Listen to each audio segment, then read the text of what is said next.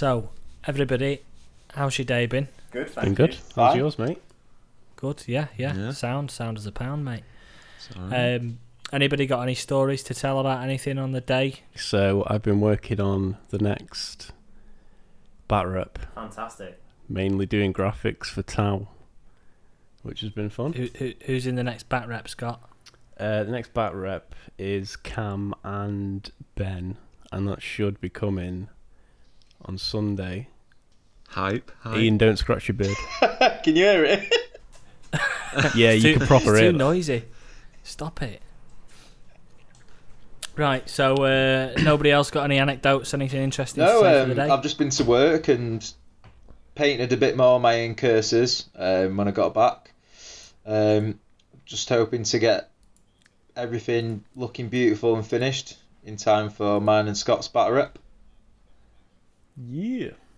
Not got much to do now though. No, I've not. I've got one. I've got one thing I'm working on. Ian, do you know what it is? No, but you're going to show me. Oh, oh, oh! Is it Mortarion? Oh yes, son. Whoa! Oh, oh, did you shit, know no, that? Yes. yeah, he looks mint, mate. Yeah. Yeah, he's about he's about halfway done, Yes, Morty. boy. Um, he's, he's already the longest. It's taken longer than anything else. He's fucking hard, man. He's a hard thing to He's a beast. I can't wait to. He's a fucking. I mean, beast. who's going to win, Ragnar or Mortarion? Uh, I mean, I think that's pretty obvious. obviously Mortarion. How many Mortarions have you been through, Ian? Uh, just the two, mate. Hundred, just to two hundred. Just the. Uh, How many wings of Mortarion have you been through? approximately three pairs. uh, it's the longest running joke ever. Should we should we explain the joke? What was the joke? Go for it. I, I painted the, him. the joke is that you bought three Mortarions. No, not not three Mortarions. I bought two because you've been on you you finish you finished one. Yeah. You finished the first one. You were unhappy with the face. I wasn't then happy with got- the model. That got detoled. Yeah. And then you did the second one, you're happy with the wings, and then that got detoled. And then the third one is just been lost in the warp because no, he, does, he doesn't speak about it anymore. Yeah, I don't even know if you still got it. We don't even know where that one's It's gone. because there isn't a third one. I've the, I've only had two Mortarions, but I had three sets of wings because I got a set of wings spare because the first lot broke, and then I think in the end I didn't like how he looked, so I got rid of it and just got another one because I think it broke as well because he's got such little fiddly parts on it, quite easy to break. That's the problem. Yeah. Come to think of it, I haven't seen Death Guard on the table for a long time for you, Ian. Um, I mean, obviously, I still love them, but Space Wolves are my one true love. So, considering Scott Your has got Death Guard, like, and he's our main Death Guard player at the moment, it's not really necessary for me to use them as much. Don't don't put me in a box like that. Well, like I'm, I'm hoping to put you in a box, and the rest mate. of his Death Guard. When we have a battle, you're going in a box. Ooh, Ooh, fighting talk. Ooh. Fine. Shots. God damn. Yeah. I mean, it's all about Space Wolves, Bob, to be honest, mate, at the moment for me. Yeah. I mean, obviously with these assault intercessors and stuff coming out, it just adds more interest for me to start playing them constantly. Um, and with me just buying some blade guard as well, I'm looking forward to converting them um, and using them in an impulsor. I can't work out what if I want to cram all my characters with the blade guard into the impulsor though. I'm sort of in two minds about that. So maybe a bit of advice would help. So what? You were worried that they would they'd be too vulnerable, weren't Yeah. you? Having three three blade guard and three characters. Yeah, I was just thinking. I mean, if you look at them and you think, do I want to target this intercessor squad or this assault intercessor squad in an impulsor, or do I want to target this other impulsor with three blade guard, Ragnar, and like two other characters? What you're not you're not going to think I'm going to take the intercessors down, are you? You're going to go for the blade guard and characters. So I don't know if I need to get another impulsor. What just to s- split fire and have three in one, three in the other?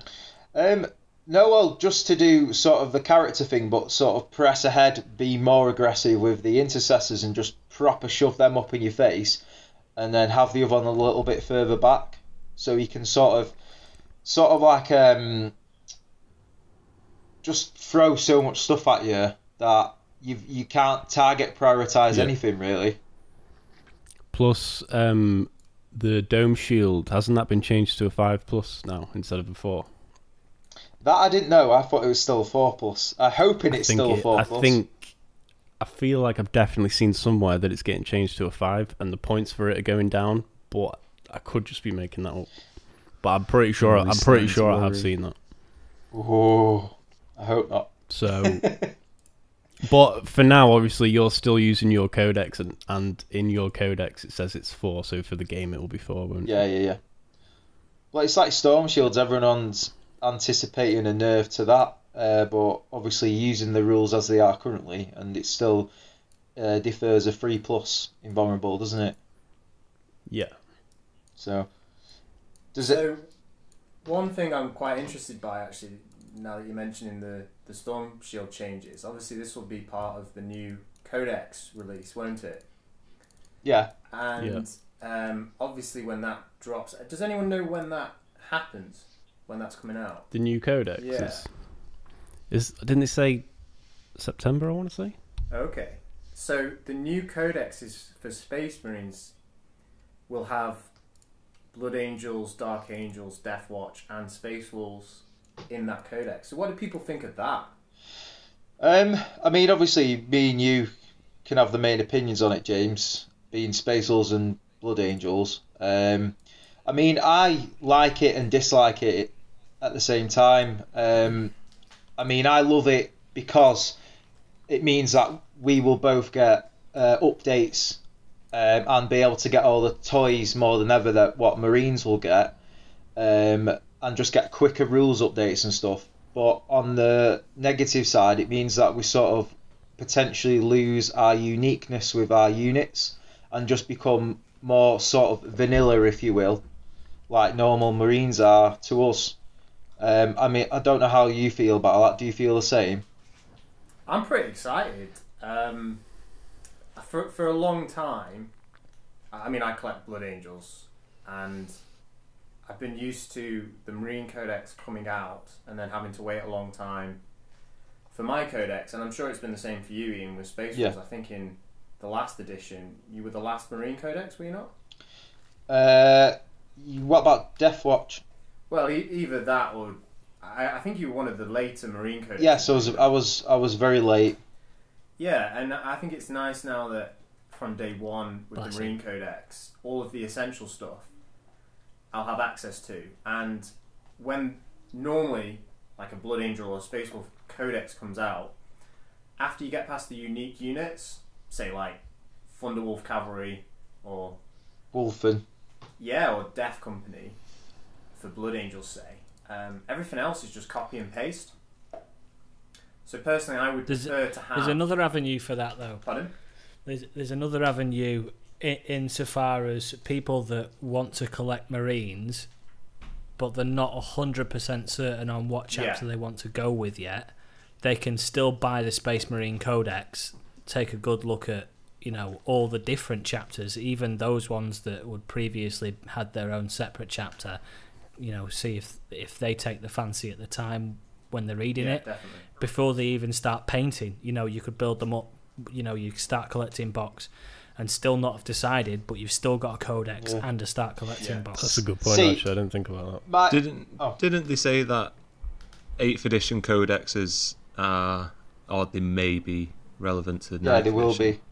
as well. For the time being, Um, yeah. yeah. So I don't know whether you'll get a complete overhaul. So the plan with Marines, um, after the Codex comes out, is that all the supplements that came out in 8th edition towards the end of 8th edition for Ultramarines, Imperial Fists, Salamanders, their supplements will still be usable for the majority of 9th, is what I remember hmm. reading. And then your chapters like Blood Angels, Space Wolves, Dark Angels, they will then be gaining a supplement like those supplements that I've just talked about. And I'm quite excited for that because I felt there was more lore in those supplements for say Imperial Fists than there was in my Blood Angels Codex because in the Blood Angel Codex you had to put some of the maybe from the Blood Angel point of view, but the key marine lore that's in the Marine Codex. So you haven't really got time to talk about all the different companies like you do in the supplements. Yeah. When I was saying negatives in terms of um, uniqueness, as a Space Wolf player, until Primaris, my army was pretty much entirely unique. I had loads of unique characters, unique troops like Grey Hunters and Blood Claws. Um, everything was like its own unique thing from the the uh, normal Codex Space Marines, and now there's Primaris. It gives you more chance than ever to have the ability to like work together with Space Marines. Basically, you don't have to worry as much about the change of uniqueness there. Um, What you're saying is, is you're happy for Space Wolves to conform to uh, the codex? not to follow the Codex. yes, but I, I want the, I would like the benefits from the Codex. I want all of uh, Guilliman's and Cawl's new toys. double standards. Take it or leave it. Take it or leave it. Definitely. If you get us extra benefits, So I guess Blood Angels I kind of always felt Blood Angels divert from the, the Codex, but nowhere near as much as Space Wolves do. Um, I mean, I I don't. I'm not. I wouldn't class myself as a big Dark Angel player, but Dark Angels are a chapter that I've loved the lore of, and I've collected miniatures over the last few years, and I've been painting a lot of them recently. And with the new Indomitus box, the Blade Guard in there have been painted up as Dark Angel First Yeah. Company, and for a long time now, the First Company of the Dark Angels, the Deathwing, has usually been completely Terminator armor. So that's something that I think in the early editions of Warhammer, Dark Angels did have a lot of Deathwing units that weren't Terminators. But for a long time now, it's been quite standard that they are, and I think I've seen a lot and spoke to different Dark Angel players that have felt a little uncomfortable with Yeah. that. But I think it's the sort of thing as time goes on, and you know, Marines will always get new units. It will probably feel very natural in a couple of years. I mean, at first I wasn't sure about Primaris, but I'm quite excited to uh, paint some Blood Angel Primaris in the future because I'm still quite a strong firstborn player with them. Yeah. So, sorry, sorry, Cam. Were you no, you go ahead, Scott. You go ahead. No, no, no, no. I was, I was slightly changing the subject. So, Well, I was just going to go on the back of what James said about um, new units for Space Marines. I'm a bit tired, to be honest. Space Marines have Yeah. had so much recently. Um, What a little Xenos player you are! yeah, but come on, you can't say you're not feeling the same for your Eldar. No, don't get me wrong. Um, Um, like I did, Tyranids I or did look another. at some of the stuff for Marines, I think the other day, and you know, with the Phobos stuff last year, Yeah, brilliant miniatures. yeah. The gr- don't get like me wrong, said, great miniatures. Like I the- mean, it's I don't awesome. feel like there's an equivalent for Marines at the minute. yeah. So I was, I was going to add to that. Obviously, we've got the, the heavy, um, intercessors coming, haven't we? Which we've seen leaks of. Um, which look like they've got like a fucking massive. Sorry, which look like. I'll say that again. Which look like they've got a massive gun that, and it looks like they're in squads of three, maybe because they might be a multi-part kit with the eradicators. Have you all seen this? Yeah, I have. Um, what? So you can mi- mix and match? You mean? No, No, no. So, so kit. there'll be a multi kit, and one way of building it would be as the Eradicators with the um, what they call melta rifles, or Yeah. they can be. They might be. I don't know if this is this is just people kind of guessing, but they might be um, troop squads of three that have heavy bolt rifles. It looks like because it says Right. there's an image of a captain, and it says cap. It says um, captain Primaris captain with heavy bolt rifle. Well, I think I've seen and that. he's in like he's in Gravis armor, and his gun is is huge. Yeah. That's what she said. just going back to uh, just going back to Cam, uh, saying you know how he's sick of all the new releases for the uh, Space Marines. Does that not make you want to at least jump on board a little bit? Uh, I do a little, but at the same Yeah, time, I feel like everyone's got Marines somewhere. Yeah. Um, I just don't want to be a sheep, to be honest. If you were to pick a chapter, if you were to pick I'm a not a chapter, sheep, I'm a wolf. who would you go with? I've always liked the look of the Novamarines, but I don't like Oh, the yeah, idea good of choice. being a successor of Ultramarines. Um, the thing with Space Marines, not be like obviously they've got the the widest range of stuff.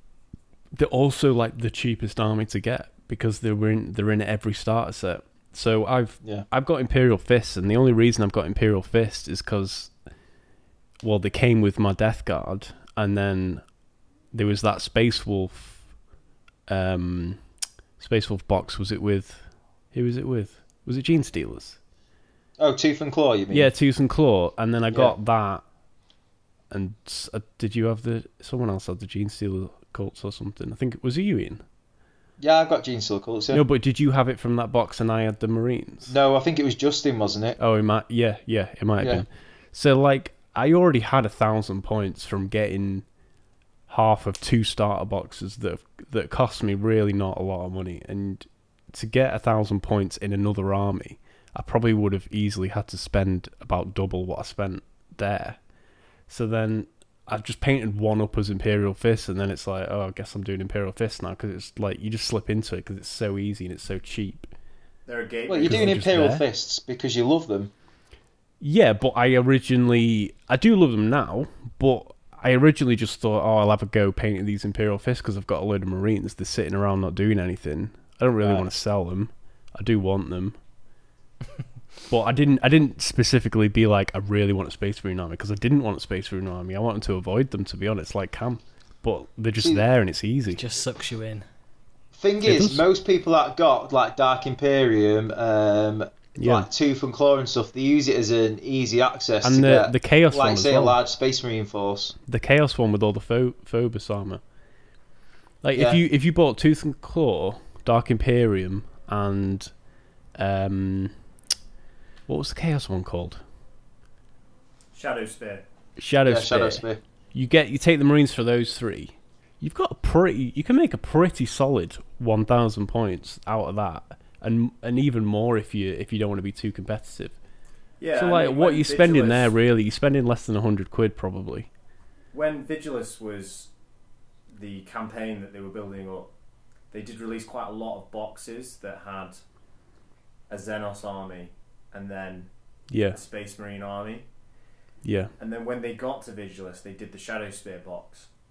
And then now we, we've got 9th edition.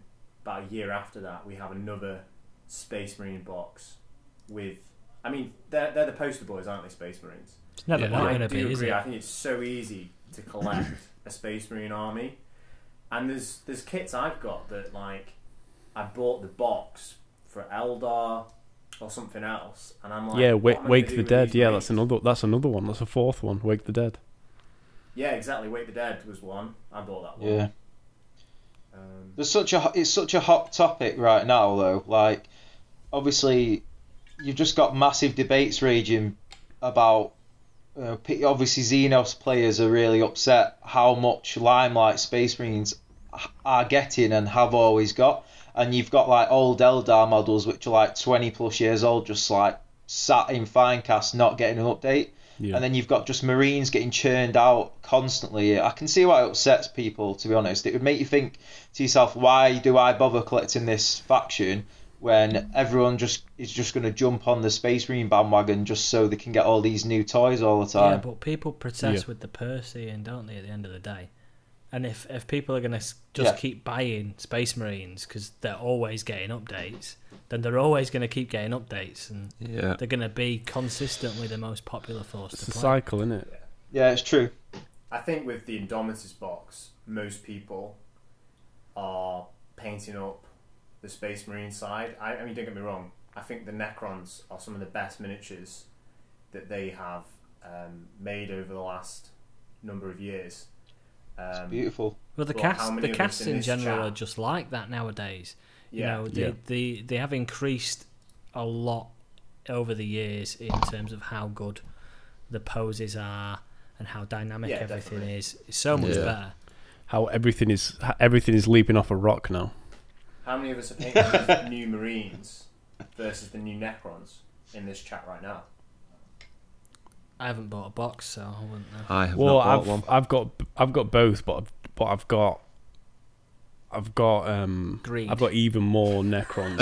So Well, well, it's three out of five, isn't it? I mean, Scott has got it for both factions. I've got really. it for both, Me and you, but I have got have- way more Necrons. Like I've got sixty warriors. I've got three of those walkers. I've got nine of the um scorpion things. Yeah, but you're a long time Necron player. Of course, you'd want the new Necrons. Yeah, But you've got the obviously you want the Space Marines as well for your fists. yeah, because the uh, the yeah, because like the shield guys definitely fit for the fists, and so I definitely they want do. them. I think Black Templars like look really good with this, you know, with with Indomitus. Like I think Blade Guard especially just perfectly fit the aesthetic of Black Templars. Yeah, What's your favourite model in the box? My favourite, Yeah. um, I'd probably say my favourite unit is the Assault Intercessors. Um, for years I wanted like a dedicated, like assault inter like an assault troop squad uh, to use with Space Wolves and Much, much, much later. you know, Grey Hunters and blood. I had Blood Claws, but with only one wound, 75 years later. you know, or, or you put, like, for example, they can be quite slow unless you put them in rules a here, Ian. transport. Come on, answers on a postcard. What's your favourite model? Uh, the Assault Intercessors. Smashing. it's supposed to be a one word one word um question given to everyone. What's your favourite model, Scott? I would say the the um what the fuck's it called? Canoptek um reanimator? What the fuck what's it called? Yeah. Is that the name of it? Like so many different things. Like it, like at times I look at it and think, oh, it reminds me of something out of War of the Worlds. Yeah. Or at times I think, Yeah, like, I get it's that. like everything, like a big Necron, like a, maybe like out of the Matrix. You know those that carries the baby.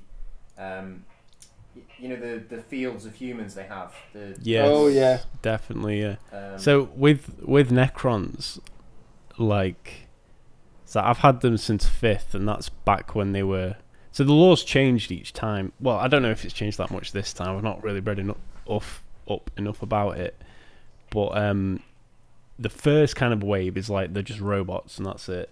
Obviously, there's not a lot of personality with that. So then the second wave, which was was it fifth or sixth, that was kind of turning them into um, like the dynasties and giving them personalities and like hierarchies, not like everyone's every single one's a dumb robot, giving them actual hierarchies. And now with this new phase, it's like we're bringing it back to to like the grim darkness of it and like the horror aspect of it because everything looks like like they've just turned up the horror of it and they've kind of they've forgot the whole dynasty royalty thing that's still there but they've kind of left that Yeah, and been like new- let's make them the the horror army you've got a let's make them like the HQ. Horn in age of sigmar. Let's make them like that.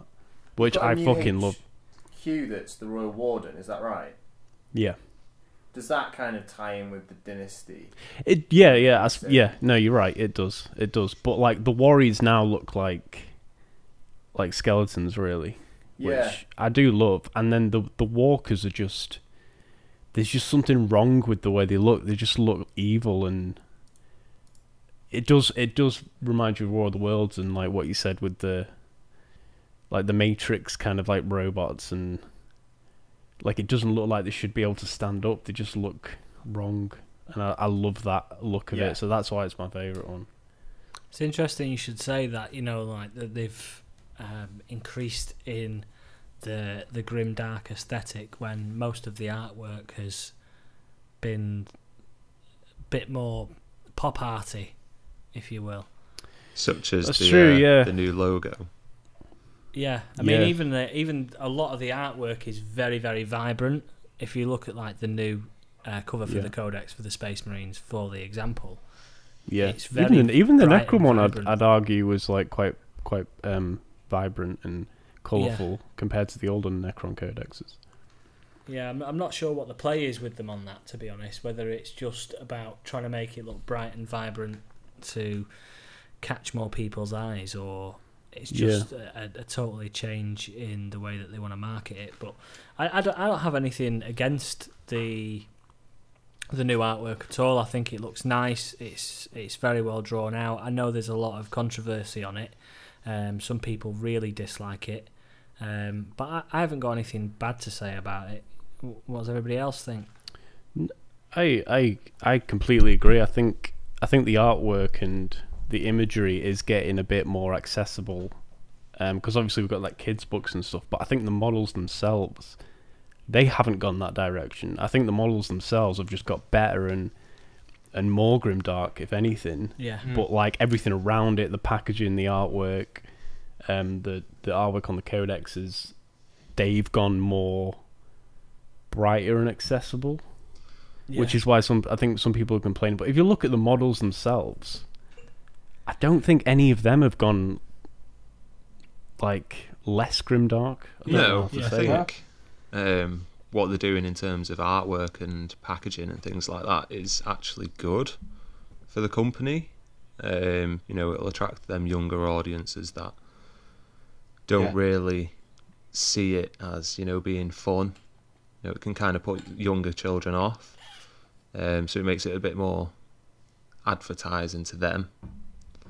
Um, yeah, as well. If you look at it, uh, you know that's a good point because if you look at what's popular for kids nowadays in terms of war stuff, if you look at how popular Fortnite is, Yeah, exactly. Yeah. you know that that's a very bright game, and thousands and thousands of kids, millions of kids probably play uh, Fortnite, and it's been around for a while. Maybe they've sort of seen that trend because you know there's plenty of games out like PUBG and Call of Duty Warzone and all the other battle royales that came out.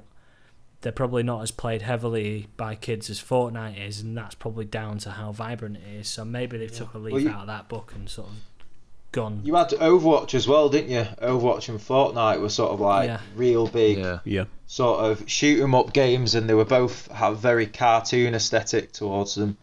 Yeah, maybe maybe that's the front on it then. Maybe that's what it is. I've I've read a couple of the kids' books actually. They they're quite good.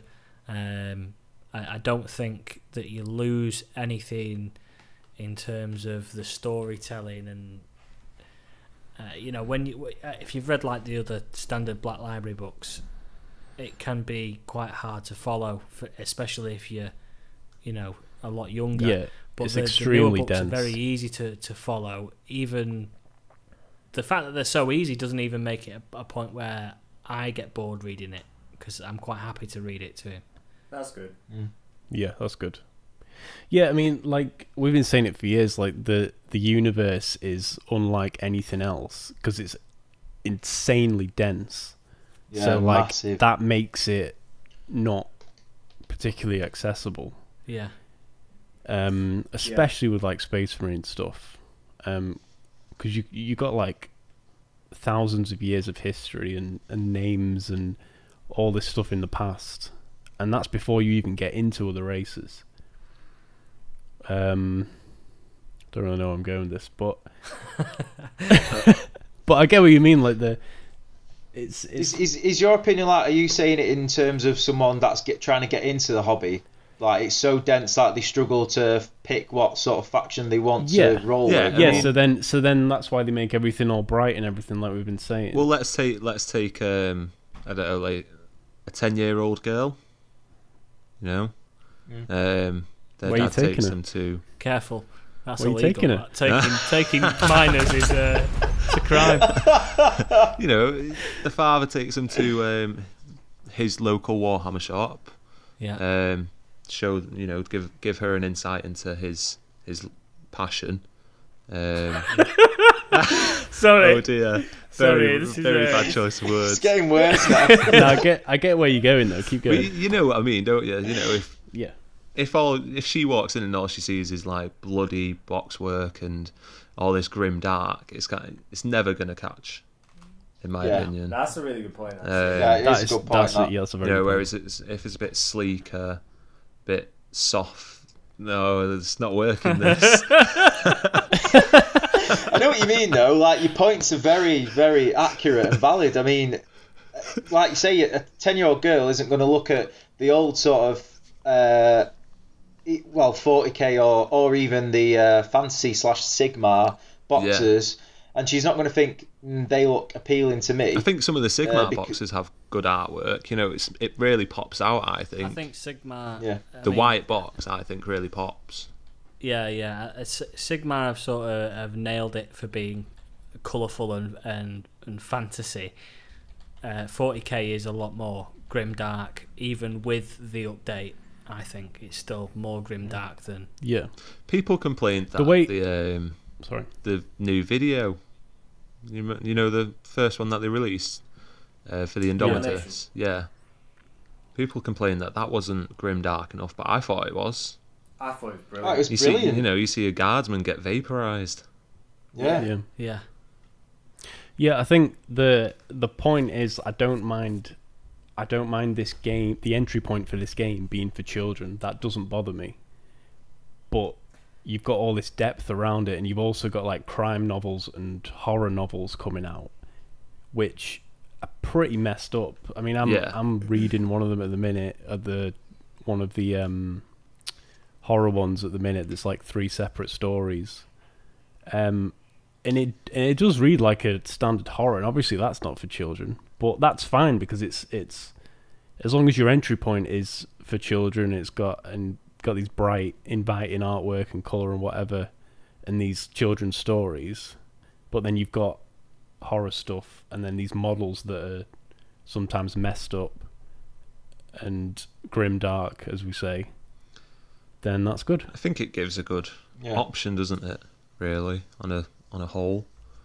I, I think I, what I like about the word grimdark is I have an idea of what it means to me, but it's such a unique word to Warhammer. I think a lot of the time, everyone has a different version of what grimdark is to them. It's down Yeah, to our it's all- own It's all perceptions. perceptional, mm. yeah.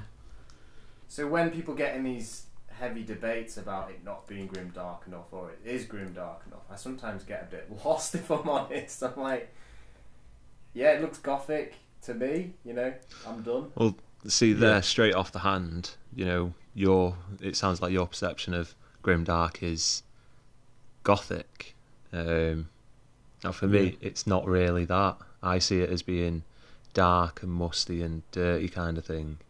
just just like a hopeless time where it doesn't matter what you do or who you are. You're um, carrying a you're gun nothing, or carrying coal. Yeah, you're nothing but um, but food for the meat grinder, Yeah. really. You you don't have a purpose. It's not like today's world where you think to yourself, I sort of have a, a purpose. I can go for this job. You know, I I know I can get married. Blah blah blah. All that lot. Whereas in those times, it's sort of like you don't at any second from all the threats going, you could just die straight away. There's nothing that that you've got as a path to go for. There's another thing, isn't there? Like, there's emotionally grim and dark, Yeah. Mm. not just aesthetically. But it's, I mean, you've got the Imperium, which is like this galactic, dystopian, flipping, horrible empire which will kill you without a second thought. And that's a place you're supposed to live and fight for. This is why, Ian, you should join the greater greater good. Yeah. what? So I can be brainwashed as well. Well, at least you'll li- live a happy life, mate. You join join uh, join Farsight, and you're not so brainwashed. Happy life, happy on- life in ignorance. On that point, Cam, how great or good do you think Tower going to be in ninth? Um, I don't know. I'm a little worried for um the players out there that like to play. You'll like this, Ian. Triptide. Um, I'm a little worried for that because Shield drones are now 15 points, which is, in my opinion, very expensive. What were they Um, before? They were 10 points before. Um, well, that's a lot. yeah. Yeah, it's a big um, increase that. So I think gun drones and marker drones are going to be more widely used. Um, I mean, I think gun drones are good anyway. Uh, if you get a Do you think that gives Tau more of a reason to be more gun heavy than defensive? With them be with their defense drones being more expensive, do you think that's going to affect it in that way, or well, I, I'm not too sure. I think people are gonna try and stick to the ways. Um, stand, standing at the back of the board? yeah, a and lot, of, a lot of Tau players are used to that. You see, I used to do that, uh, but now I'm quite heavily into Farsight. Yeah, So Which is the complete opposite, isn't it? yeah, um, that Could you that not offset the? Could you not offset the loss of the shield drones by just taking loads of shield generators on? Uh, like for example, crisis suits. They can all have a shield generator. they can, yeah, but I think um, a shield generator can cost different points on different units. Is it more expensive than a shield drone? Not necessarily. Um, Right. I'll be honest with you, I've not actually checked up on that, the points cost of a shield Right. generator.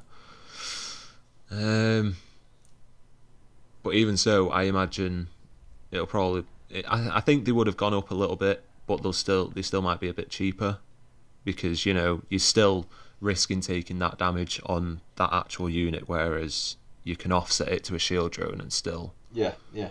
you know. Um, Um, move moving on. Um, what what's everyone going to miss most about the eighth edition? Um, Uh, seizing, seizing the initiative. no. The amount of times I've seized the initiative, including my latest battle with Jord, just as like a final farewell to Eighth, I seized against him, and considering he was using Triptide list, I, I thought I was going to get absolutely destroyed, but seizing managed to allow me the opportunity to get up in his face and dictate the battle a lot more. Whereas obviously now in ninth, you can't seize anymore, can you?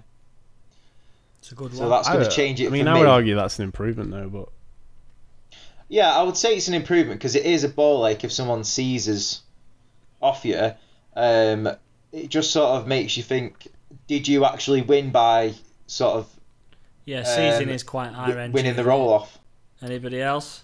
I, I honestly I don't think there's anything. I can't think of anything on the top of the head that I'll miss. I've only I've only I haven't actually played ninth yet, but I've witnessed. Um, I've only witnessed one game or two. I've only witnessed one game, and for what I can see, it's way more tactical. It's way better. The I think the secondaries is the best thing that they've added. The secondary objectives is the best thing they've Yeah. added. Um, yeah, I think it's I think it's well you'll see in this Town uh, Night Lord game that is going to come out soon. The the way that Cam and Ben play is definitely different than how they would have played that game in eighth, and it's it's interesting. It's it's it's better for it, I think. Yeah, I, feel the same as you, Scott. Um, the I felt there was a bigger change between seventh and eighth than there is between eighth and ninth.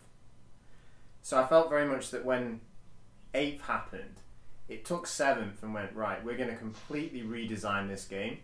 Whereas with ninth, it looks very much more like they've gone what worked in eighth, what didn't work in eighth, and they've either scrapped or changed or just tweaked slightly the things that didn't work. And then everything that has worked, you know, you look at the way data sheets are now, it didn't used to be that it would say you roll a 2 plus to hit or a 3 plus to hit in combat. It, it used to be, uh, what was it, weapon skill 5, and you had all these different codes, didn't you, in 7th? Yeah. I can't really Yeah. remember, but. De- well, it depends on what their weapon skill was to what Yeah. your weapon skill was as well.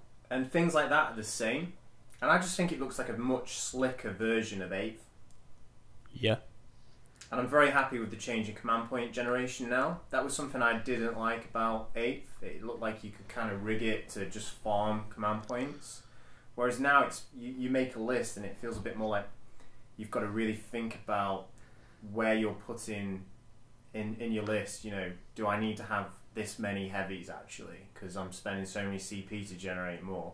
Yeah, I think in in I think that's great, but in some ways it it um it hurts armies that are that HQ heavy, especially like Ian Space Wolves and Yeah. making a Necron list with like the Royal Wardens and stuff. I was I was struggling to to get in what I wanted in my With the Royal HQs. Warden, can you take two in one slot, or is it? No, you can't. one? Like you can do the lieutenant, you can't. That's a bit frustrating. Could be something they Scott. changed. I don't know. This is Scott, just going back to sorry, Cam, what you were saying about HQ, Scott, then in terms of it being harder for certain factions like Mass Space Wolves. Um, in a in a typical battle in eighth, I'd be running like a battalion with three HQ maxed, and then I'd run a either a vanguard with a couple more characters or a supreme command with like three more characters. I'd be spamming hero hammer uh, because the synergy what my characters had with my other units in terms of even um, like the deed of legend from the warlord traits where if you make your warlord trait you can pass it on to units that are nearby that was amazing but the less uh, HQ I can take the less chance of synergy that I can get and it, it means that I have to rely more on my elite options than ever to do the job that the HQs used to do before I think that's a good thing to be honest, because uh, it works out for lore as well as tactical Yeah. nous. Um, Yeah. Well, it might do for you, but not Apart- for me because my the army's always been about myself. one man can turn a battle. um, which are an elite squadron of commanders. Um, I don't think I don't think you'd get many armies that would generally feel field a load of characters. No, Yeah. but You know? the the problem happens is when you've got kind of like these weird sub HQ units that don't really fit like a full on HQ. Like you've got the supporting HQs which almost could be elites. So then you've got the issue of should they really be HQs or should they be elites? Like there's certain buffing units that that are are fairly for example, weak. yeah. yeah, that that could quite easily be moved to elites. So then it's like Yeah. I, that's a good idea considering my HQ list is like rocking probably over 30 options. Um, it's a bit stupid that I could only take three max, you know, and anything more starts to like, you know, hurt me yeah. basically. Then the other way is that can obviously be abused quite a lot. So Mm. I do, And, I do like, think it's better. It's a weird well, one. I, I always feel like it's a bit of a funny one. Where do I put my commissars, and where do they fit in? yeah, You know, it, it's sort of like it's a HQ, but it's not really a HQ. Do You know what I mean? yeah, I feel Yeah. like that a lot of uh, guards struggle with that as well with decent HQs. I think that and a lot of the way to play guard has to be an absolute ton of bodies or a lot of heavy armor, and you don't really so much rely on your HQs. I think the most important things are stuff like your tank commanders and your company commanders for issu- uh, uh, issuing orders, but Yeah. they're not. I don't. I don't think of them in the same way as like when I play my Ultramarines. I have HQs which play a specific role and have their own special rule set. I think of them just like you know standard blokes, but they have one special. yeah. I know what you ability mean. they're not particularly strong. You know, it's not like like a, a captain in Gravis armor. You could stick that up up the field in someone's face and smash the face in. You know, it, it's it's a good, strong standalone unit just as itself. Whereas things like commissars or your company commander, he's just literally there to issue orders, and that's his strong point. Yeah, that that's that's the main problem because the the spectrum of HQs goes from a unit that's a one man army to a guy that gives a slight buff to someone else that's near him but is kind of weak. Yeah, So it's like yeah, just a bit naff on putting putting all, putting that entire spectrum into one um one unit choice is quite difficult because yeah, it's like what some armies it hurts a lot, some armies doesn't really matter. yeah, yeah. I do think when codexes come out for ninth, though, you'll start to see certain detachments, maybe maybe new detachments that certain armies can take. Like uh, one thing Yeah. I've noticed is that um, so if you look at Eldar and you look at uh, Adeptus Mechanicus as well, it, lore-wise, it's quite normal for an Admech army to have, say, a battalion and then also take an Imperial Knight as a auxiliary. And it's the same for Eldar. You, you you could get a battalion of Eldar with a Wraith Knight added on. But if you do that currently, I'm pretty sure that the super heavy auxiliary, you don't get any benefits from the army special rules, even if they're the same detachment. And I don't Yeah. think there's the synergy there anymore. And I, I kind of just feel that's something that they would look at later on. And I, I think it's the same, you know, you're talking about Imperial Guard. I, I kind of feel like you might get a chance, like maybe the way lieutenants are, you know, you can take two lieutenants in one slot. Maybe they'll start to introduce that to other Yeah. armies if they haven't got it already. I'd I'd like that. Hmm. I will definitely. It reminds me of the end of Seventh. Do you remember when they had like the sort of detachment things like Decurions and things like that? Yeah. You had you could take unique detachments for your army uh, and unique units as well. I mean, you were sort of locked down, weren't you, with with detachments with what units you could take, but they'd give you a buff in relation to what you were taking, which I liked. And if they did something a little bit like that, give you like your own ability to take a unique detachment to your faction, that'd be sick. Yeah, like it, to allow me to take more HQs would be awesome. For it got me. to a point where those though, where if you if you didn't bother taking one of them, you'd be at a disadvantage because some of the buffs were Yeah. so powerful Yeah. and so easy to fill out the units for that if you weren't taking it, you you were playing a list that was worse. I remember Yeah. Necrons had a really nasty one. Yeah, we we had the one that increased increased basically made Crypteks pointless. So you'd never had to take crypteks because every everyone had four plus three animation protocols. So there's no point in Crypteks anymore. So there you saving points and everyone's all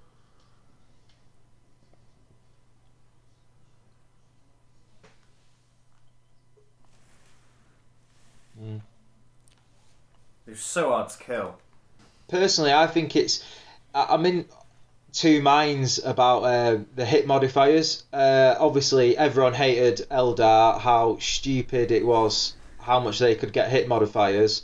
Um, whereas, you know, for the positive side of that, for my army as a close combat army, you need to get up quick. Whereas, you know, as again as a close combat army, when you're trying to get up quick, if you haven't got the defense to keep your units alive, you're not going to make it, and you're not going to have the units which are good, which you want to hurt, a bit available to do the job. Whereas um, now they've capped it, you sort of can't stack the modifiers to allow that to happen more. I'm not sure I understand what you're saying there. I don't know if, if it was a bit of a tangent talk or what. Yeah, it was a bit of a tangent. Basically, what I'm trying to say is the modifiers, the positives and negatives for me, the negatives were in terms of Eldar when you could stack it to like ridiculous, so the point where you couldn't Yeah, hit yeah. them. And the positives for myself, my army, is as a combat army, you need to get up close and you want as much stuff alive as you possibly can to get there and do the job. And having the hit uh, modifier buffs allowed me to do that. Whereas now, because it's stacked, it means that I've got to think more than ever about what is going to make it into combat because I can't have as much defensive sort of buffs to give my units. So, Bob, Yeah. let's talk about your main playing armies and how you feel about them coming into this new edition. Well, I've sort of got two armies that that are like the main ones. I- I've got quite a f- I've got quite a few armies, but I've not really played much with the Mechanicus Yeah. or uh, I haven't used the the Knights much. But uh, the main the main armies that I've played with are my Ultramarines, the Primaris ones, and the Imperial Guard. And to be honest, uh, uh, Ultramarines had a lot of flack in 8th edition with Guilliman for being just castling him up around him, being a gun line. Yeah. Um, but that was never really the way I played it anyway. And in all honesty, I, I haven't like done a lot of reading into the to the ninth rules to see how much that would actually change anything. But given off like what I have seen and, and what you guys have talked about from Yeah, From the Guilliman's game. got some interesting changes, actually. I need to I need to really seen look into it to be honest, but um, I, I can't see He it doesn't seem like the making powerhouse too much that of a was. difference to my playstyle. So Yeah. sorry, He doesn't seem like the powerhouse that he was. kind No. of. Um, I think he's still strong, but he was kind of like a must pick, and Yeah. now I don't think it's so much that. Yeah, you could go with Calgar and a lieutenant now, and I feel you would get A similar the benefit. buffs that you had. Yeah. Yeah, and Yeah, but. I, I think the the cool thing with Calgar is he's still an absolute beast. Yeah. you know. Well, he should be. He should be. Yeah, Um, I think personally for me playing against Ultramarines, um, the one change I'll, I'll I'll tell you about is um, the change to the command point reroll. Have you seen much of that? no. Oh yeah, this this is good. Yeah. So, bef- yeah, before um, say an eighth, you could um, be fighting Guilliman or shooting Guilliman, and say you're defending and you you're rolling your saves, and um, you fail a save, and you go, hmm, should I command point reroll it now and try and make that save to keep him alive? And then you think, well, obviously his armor gives him a four plus, he can come back to life. You might save the reroll for that, but then you get the four plus, so you, you bring him back, so you don't need to use the reroll. But then you've still got the reroll for how many wounds you're gonna have. Yeah. Yeah. Yeah. So before, you say if you rolled a one, you'd use your command point reroll to reroll that, and you might get a six. Yeah. I used to find playing against Guilliman that had happened quite a lot. Yeah. But the way they've changed the command point reroll now is they've worded what you can use it for, rather than saying you can reroll one dice. Right. Yeah. Yeah. I'm with you. So it's only for specific actions. Yeah. Mm. So you can't you can't re-roll him coming back. And you can't reroll the amount of wounds Yeah. he comes back with. Yeah. So you, so you can't be necessarily as aggressive with him as maybe you once was, just for fear of losing him. Yeah. Yeah. Yeah. That's. I mean, that's You can re-roll his save. That is, I mean, that's fair enough. At the end of the day, he, he, he was, like you say, a powerhouse, but I don't think that it necessarily is going to change the way that I play with him. How Um, how do you play with yeah. him? Well, I- I've always played more aggressively because I felt like he should be leading from the front. You know, he he's the beast. Yeah. You know what I mean? It's n- he's not supposed to be sat at the back like a girly man. Yeah. Um, you know, he's supposed to be up there and and sticking his big sword where the sun don't shine. You know what I mean? Yeah. That and that and that's what Guilliman's about. You know, and and he's if he was to stand at the back and just be scared, he's not really inspiring greatness from the rest of his troops. So uh, that's the way I felt that he should be played. He should be played up front. He should be getting in, in the face of people. At the end of the day, he's got he's got good combat uh, rules, and he's a, he's a very strong unit. I don't see a reason why he should just be left at the back just to be buffs. Yeah. That to me doesn't seem like an interesting game. It's like uh, Cam was saying he doesn't see the point of Tau being sat at the back just being a gunline army. It's boring for me. Yeah.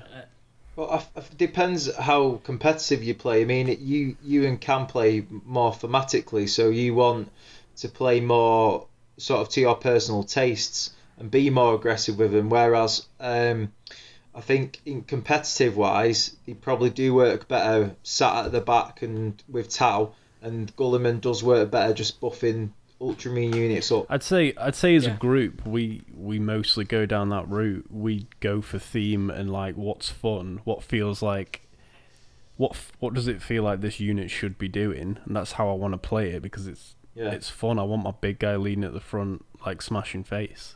I don't want him sat at the Yeah. back. It's the same Yeah. thing with with my crawlers and shooting. It's like I want them to be artillery all lined up at the back because it just it looks cool. It's it's thematic and that's And that's where they should be. Yeah. yeah, and that's that's the way a lot of us enjoy to play. So we we might not always make the correct um, competitive move, but I think I personally enjoy to play that way. So Yeah. We don't tend we don't play competitive though, no. do we? We we tend to just play for fun and play semi-competitive yeah, at best, really. Um, I think you can get sucked into the competitive side, and you know, it's too expensive to be constantly chasing certain units and then getting rid of them once an FAQ or Chapter Approved drops and they they get nerfed.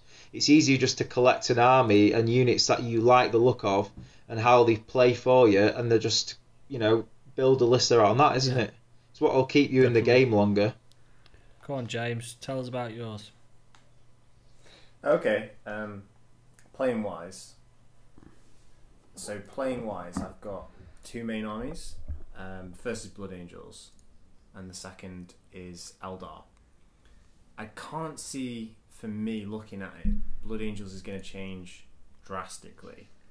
I feel like a lot of the ways I like to play them, which is quick movement, uh, getting into combat, and holding down on objectives, I think a lot of that will stay the same. Um, but one thing I'm excited to do is uh, so for a long time I haven't painted any Primaris for my Blood Angels, but they're pretty much next on my list of things to paint. And I'm really excited for that because I've been meaning to get some for a while, but now that the new assault based Primaris has dropped, I think they're perfect to go in there. So maybe it'll change slightly. I'll, I'll have to see. I feel like Eldar are going to change quite dramatically.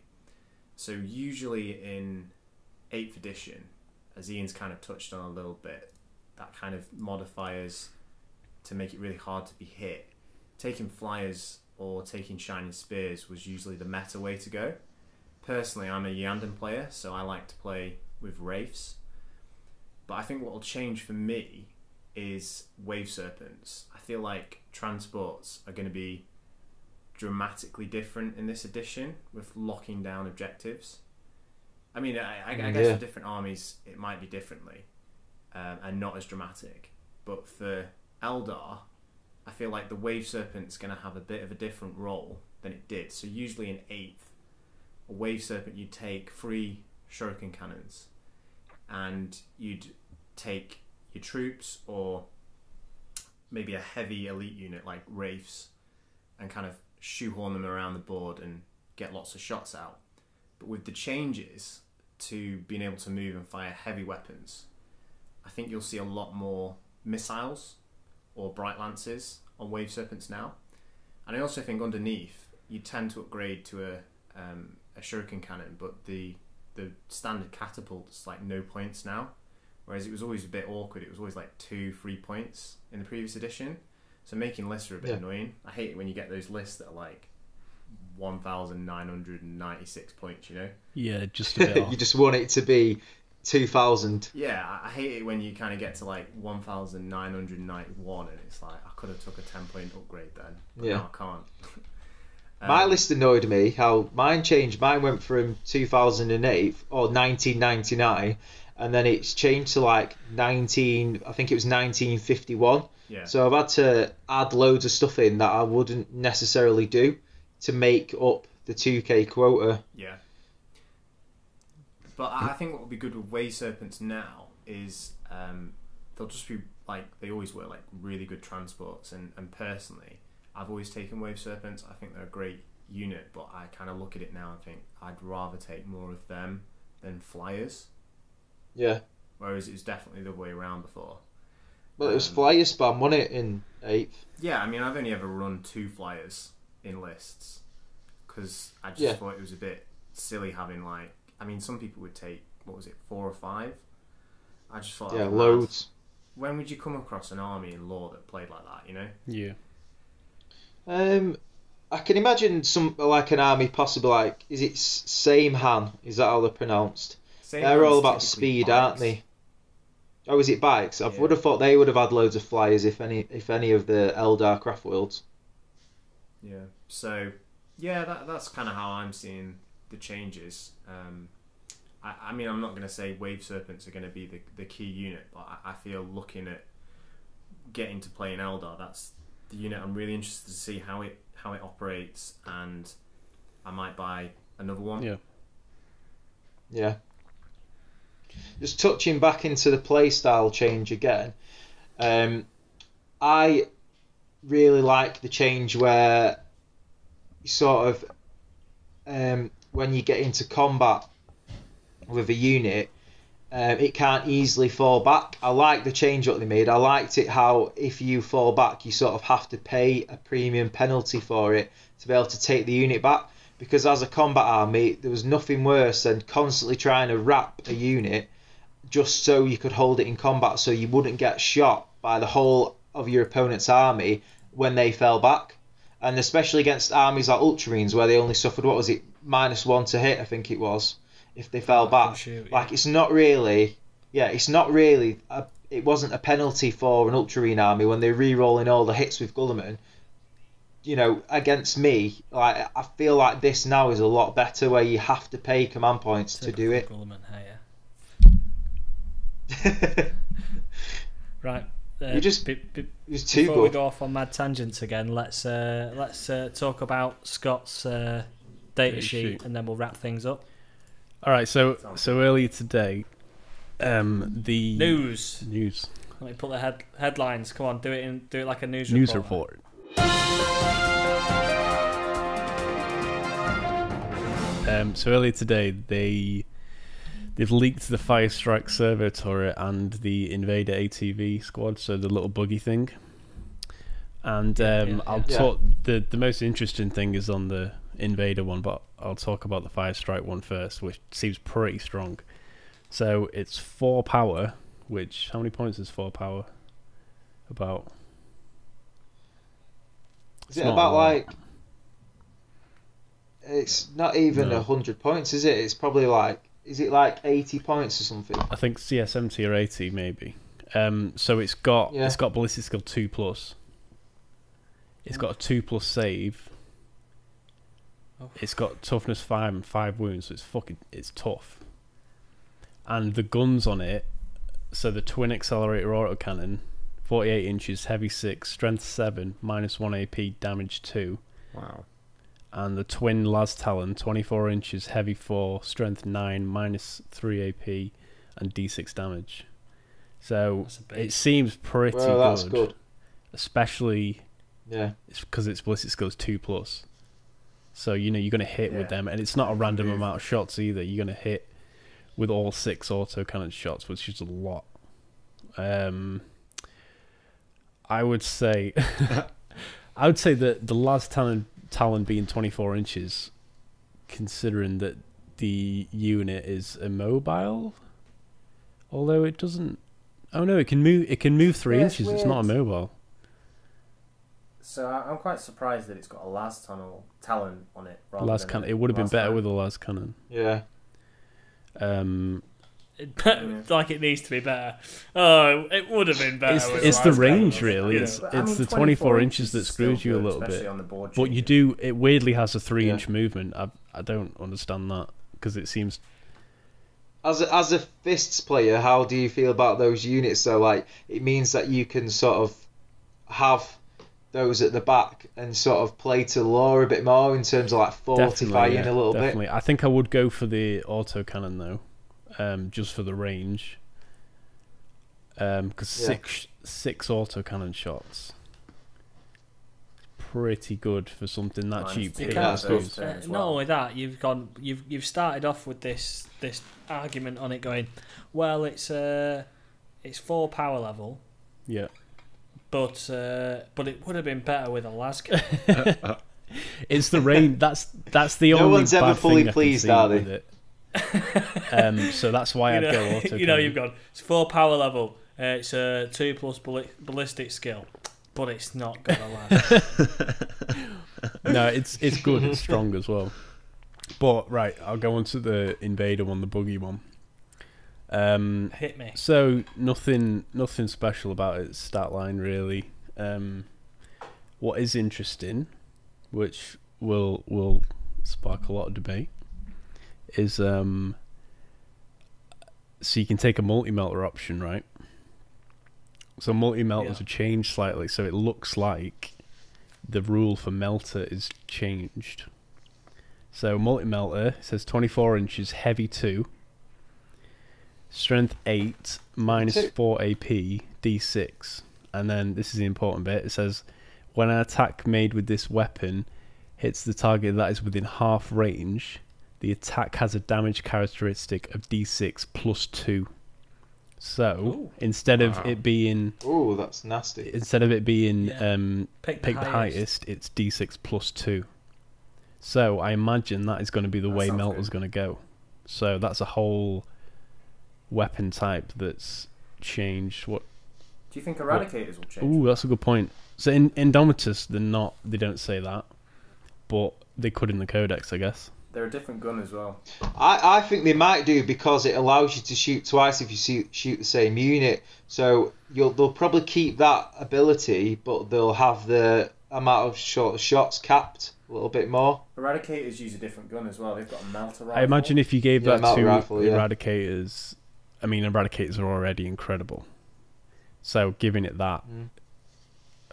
I feel like that would be too I, I do feel a bit like melta is that gun that is the kind of um, armor destroyer at close range, and sometimes it doesn't really feel like that in the game. Yeah. Yeah. Yeah, having the plus two means, I mean, you're always going to do three damage, aren't you? Yeah, It doesn't carry the same weight as a as a las cannon does, does it? not quite. Uh, Um, no, but it's just a swingy, isn't it? Really, the D, D. I like that they've added the plus two with the D6 because it means that a lot of the time you'll be rolling the one, and it's bloody heartbreaking. Whereas um, now, obviously, it's Yeah. going to be a minimum it's of going to be three, three, isn't three it? to three to Which eight, is isn't really it? good. So, Three to eight, yeah. which is, Yeah, I mean, it's better. Eight is is is mega, isn't it? If you get a six, Plus, it's you jump in for plus China. plus it's two. let's not say anything to George because that guy rolls sixes for fun, and he will decimate us Plus, if he plus knows it's this. two shots, and I don't know if a multi melta was two shots before. Was it heavy one or heavy two? 'Cause I, I think I think you've got a it was well, heavy, heavy two one. now. So multi melta there. I've not seen the model, but it, it sounds like it on the on the multi melta. It's got like a, a twin. It's got like Yeah. two. so that's also four power level. So But I mean, if it has changed, like a general multi melta now, is two shots. Holy Yeah. Christ!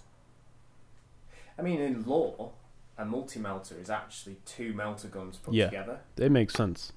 That's what it is. You know, a melta gun is half the range of a Yeah. multi melta, but a multi melta is just two of them sandwiched together, shooting Yeah. at the same target. Right.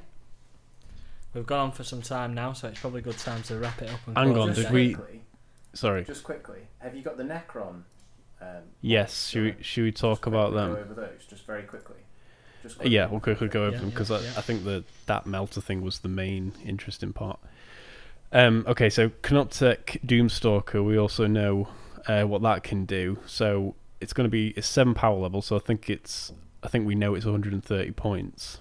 Um, it looks good. I don't think you would take it over the uh, Doomsday Ark though, just because it's It's technically the same thing. it's same. It's the same thing. right? It's thirty points less, but you lose.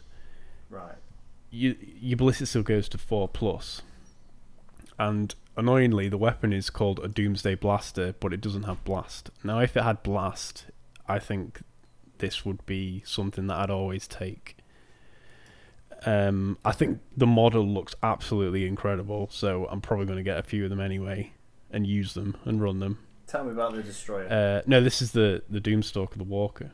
no, I know. I want to talk about. We'll get to that, mate. Calm down. I Calm wanna down, bro. that. That's why I'm here. Uh, so yeah, I just I just Yeah. think it's James is just I on just the think it's weak podcast because we that. don't have blast and we don't have ballistic skill three. It's ballistic skill four plus because it's a canoptek. Um, it does have a five plus invulnerable save, but it doesn't have living metal. So yeah, I don't know. I'll have to see. I'll probably get one because it's beautiful. Uh, so and then we've also got the heavy destroyer lokhust. Not also. This is the, The main, main one one. because this these things This is the boy. these things are nice. So I You've got enough models, James. Calm So, uh, th- so it's four power. Can never It's have four power. models, I think. mate. I think they've said it's seventy points. Um, so you're paying. Basically, a Lokhust Heavy Destroyer will be the same price as two Heavy Destroyers because Heavy Destroyers are still a thing. Um, You were a no, fan I'm, of destroyers, they were were they you, were really, the our best units, but I hated the models, so I didn't have any. Fair Um, enough. These look amazing. Uh, so we get so for the price of two heavy destroyers, the Lokhust Heavy Destroyer gets an extra wound. Um, and then we've got two weapon options. So one Gauss Destructor, 36 inch range, heavy one, strength 10, minus 4 AP, and 3d3 damage.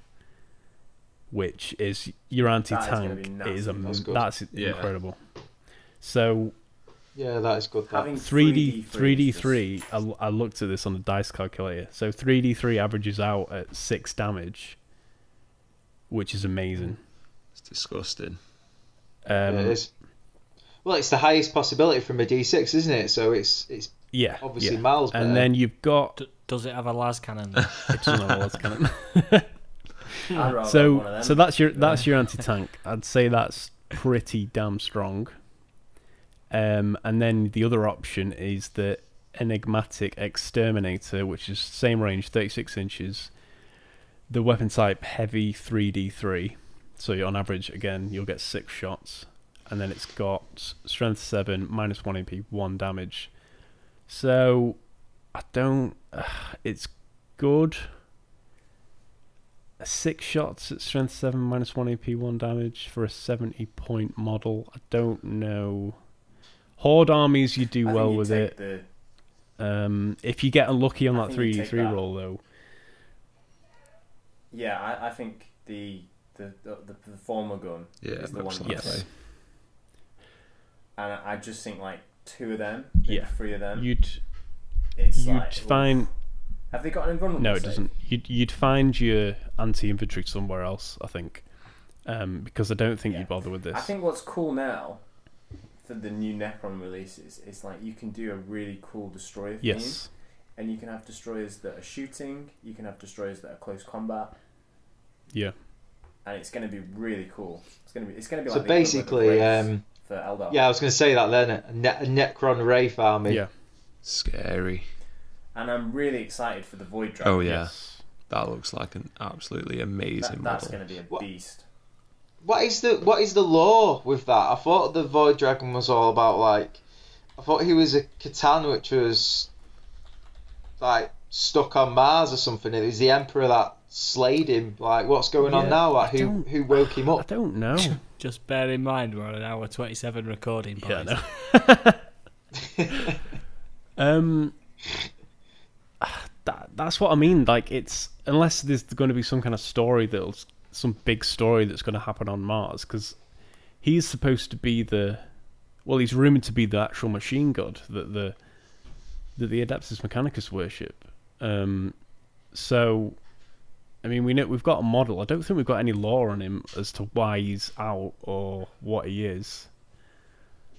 There'll be some. He, he might just it'll be- might just be like, oh, he's a void dragon shard, which that'll be probably be the case. It'll just be a shard of him that isn't Mm. currently on And I, I think that opens up a lot of opportunities for other factions. The fact that they're, they're diving into the shards. There's something in the Black Library books that's always really caught my eye. Is these shards that I haven't really seen in the game. Yeah. There's some really cool ones that Chaos interact with. Yeah, there's there's quite a few. There's quite a few shards that, and we've only got we've got old models for two of them, um, but there's there is quite a few, and it seems to it seems to look like on the model of the new this new void dragon, it's they seem to be containing them with blackstone, which is quite interesting. So Yeah. I could see that being how they do them in the future. Cool. Well, yeah. That's it. Before we get uh, before we get very lore heavy and this starts tying into podcast number two, Yeah. all about lore. Is that what should it is? Probably, we should probably wrap it up. Um, so so Yeah. yeah, th- th- nothing more to say. No final words on anything. Everybody's said pretty much what they need to say. Yeah. Um, Yeah. Obviously, the the video will be coming out for Cam's and Ben's bat rep You don't Hopefully, know. hopefully Probably. Sunday. probably before this podcast gets released due to the publishing. Yep. Um, so you should go and check that out on the uh, Wannabe Wargamers YouTube channel. Yes. Um, anybody got any other shameless plugs they want to stick in there for the Instagram, perhaps, James? no. You want to, you want to shamelessly plug your Instagram that you've been moonlighting? Yeah, of course I do. I Yeah. think that went. I think but, that went uh, well. Yeah, I think I think it was all right. Um, We could announce the next um, video that we're going to do after the Space Force Death Guard. Yeah. yeah, Yeah. yeah. Just- And also, you could say that there's a podcast coming up as well for that. Oh right, yeah. specific th- one. Listen to this podcast to get news on the next podcast. because we'll be doing podcasts on each individual bat rep that comes out. Uh, it's probably going to be uh, pre pre um, games. Yep. So we'll, we'll do those. We've got we've got the next uh, one coming up, but we should probably focus more on Cams and Bens because that's the next one. Uh, the next podcast will be uh, the the post one, uh, Ian and Scott's. Yes. Um, so uh, get on the on the YouTube channel, follow us on on Instagram, wannabe wargamers, and uh, we'll we'll speak to you next time. See you later. Ta ta for now. See See you later, guys.